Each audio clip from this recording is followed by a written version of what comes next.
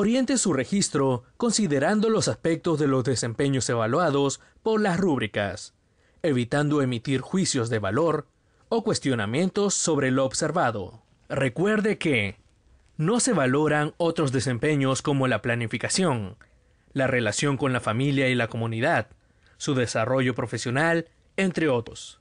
Tampoco se valoran aspectos que requieren conocimientos especializados del observador, como el enfoque pedagógico de un área o los conocimientos disciplinares. Por último, no se valoran aspectos que no dependen directamente del docente, como la infraestructura o el mobiliario.